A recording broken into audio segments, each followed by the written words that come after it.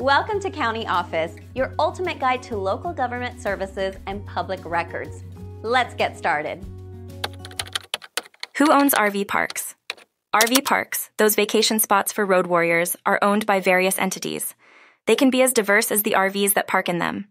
Some RV parks are family owned, passing from generation to generation.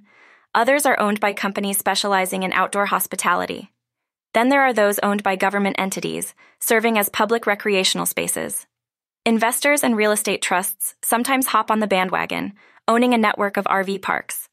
These parks can be part of a larger portfolio of properties.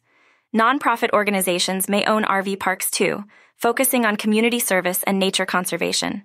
And don't forget the local entrepreneurs who build and manage these parks with a personal touch. Each owner brings a unique flavor to the RV park experience. Whether it's a mom and pop operation or a corporate chain, the goal remains the same to provide a memorable stay for travelers.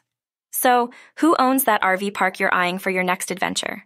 It could be anyone from your neighbor to a nationwide corporation.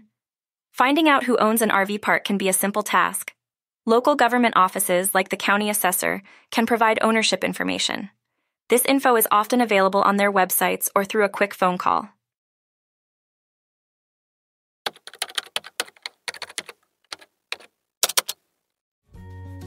To learn more, check out these links, which you can click in the description below. And feel free to comment your questions. We're here to help. Thanks for tuning in to our video.